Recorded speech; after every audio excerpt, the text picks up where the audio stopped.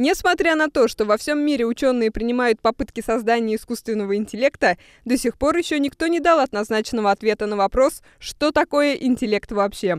Лаборатория машинного понимания Казанского университета продолжает черпать вдохновение в биологических системах и искать ответ на данный вопрос, одновременно раскрывая одну из самых волнующих загадок человечества – как вселить в технику жизнь.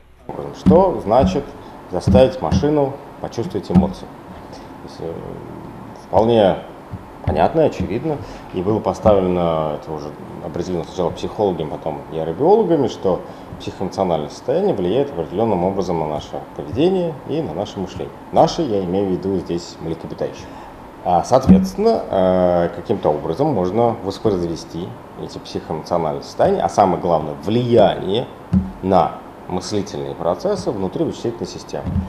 Сейчас лаборатория трудится над построением виртуальной модели мозга крысы. Когда ее организм испытывает эмоции, выделяются нейромодулянты. Именно они изменяют вычислительные функции нейронов, вызывая реакцию на ту или иную эмоцию. Благодаря данной модели ученые КФУ воссоздали у машины реакцию на страх и отвращение.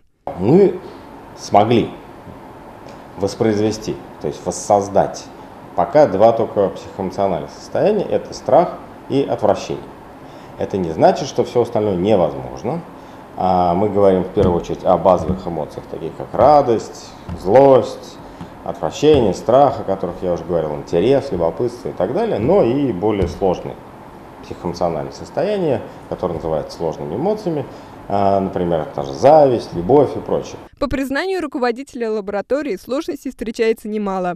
Ведь человеческий мозг нельзя полностью посчитать на современных вычислительных мощностях.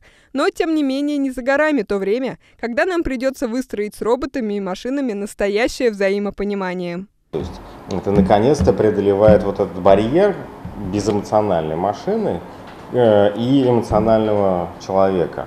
То есть, возможно, уже какие-то сложные эмоции вроде эмпатии, когда вычислительная система будет чувствовать то, что чувствует человек и так далее. Если нет базовых механизмов, то мы находимся в психопатическом варианте, когда вычислительная система просто не способна ничего почувствовать в принципе.